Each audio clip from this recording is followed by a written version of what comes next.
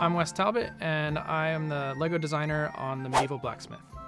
So, the Medieval Blacksmith is a half timber style building. It has three floors. The bottom floor, you'll find the blacksmith workshop with a, a, furnace, a forge, so you have two anvils you can work at the same time. And then the outside of the building, there's an apple tree, a well, a small log pile, to throw on the fire, as well as a small squash patch outside. There's a few animals. There's a tiny tree frog uh, hiding in the apple tree, as well as a dog who I like to imagine could pump the bellows, which actually, when you pump the bellows, it triggers the light brick inside the forge to make it glow. And you can also find a wagon from two knights that are visiting to collect their wares. The middle floor of the blacksmith shop is a nice medieval style kitchen. From there, you can go up the stairs into the top floor where you'll find a double bed with a, a nice colorful handmade quilt, a small nook for poetry, a comfy bearskin rug, and also a small fireplace to keep the people warm at night. I had a really fun time working with Austin on the set. We're good friends outside of work, so that was a, a fun experience. Hello, I am Sir Austin William Carlson. And I'm the graphic designer on the Medieval Blacksmith set. The set comes with two knights, and fans should be able to recognize them because it's the classic Black Falcon knights, harboring back to our more classic castle lines that we've done in the past. I went back and looked at old original signs from the era and tried to bring it up a little bit closer to that detailing. But also, we were able to do a few new color changes for the armor to really add that extra level of detail for them. The set comes with an archer and also a blacksmith. Unintentionally, the blacksmith ended up looking a lot like my old college friend. I'm sure he's going to appreciate it once he sees him. But yeah, the long orange hair and bushy beard, that's what he looked like.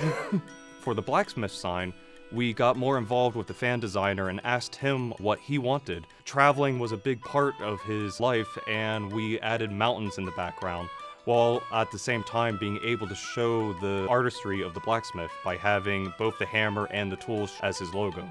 LEGO Ideas is arguably the most exciting part of LEGO because it's where fans can have their ideas realised and actually turned into LEGO sets.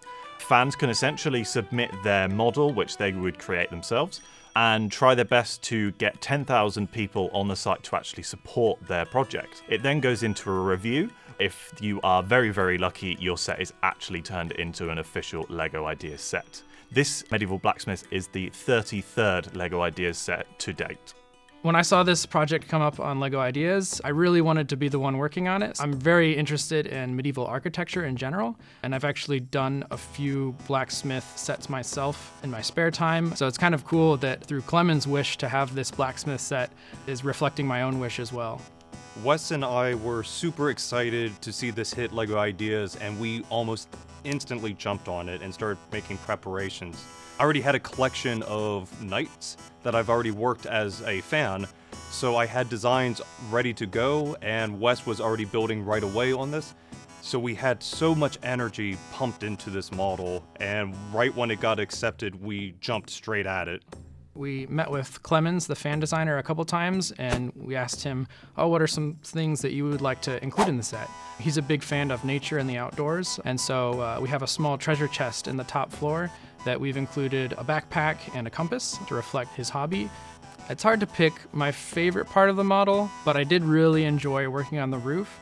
Clemens did a really fantastic, very detailed version of the roof that had this tricky angle to it. So that was kind of the first thing that I started tackling when I started to build it. And I really enjoyed adding the little bits of detail where a few shingles have popped off and need repair, as well as the moss that needs to be scrubbed off eventually. I absolutely love the set. It's really, really beautifully designed, and it reminds me a lot of the castle sets that I used to play with as a kid.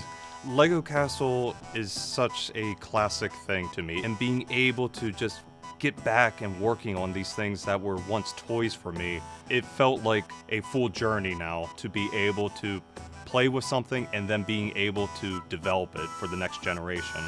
I'm very excited for this model to come out. I think it's probably my favorite set that I've worked on to date, and I hope every Castle fan out there is just as excited as I am to get their hands on it.